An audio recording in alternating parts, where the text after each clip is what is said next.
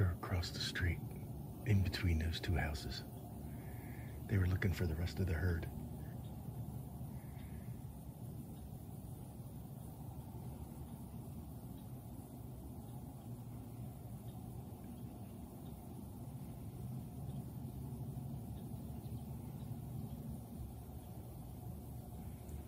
The rest of the herd